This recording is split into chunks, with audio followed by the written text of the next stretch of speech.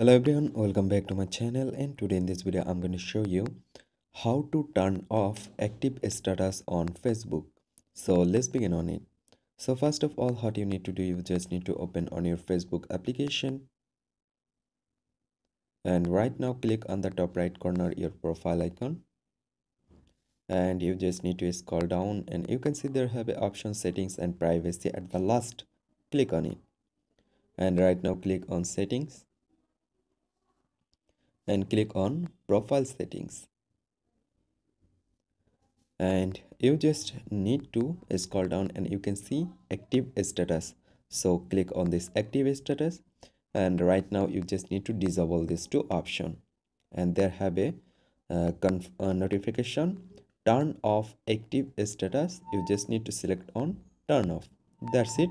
And in this way you can turn off active status on facebook so hope guys this video can help you don't forget to like and subscribe to my channel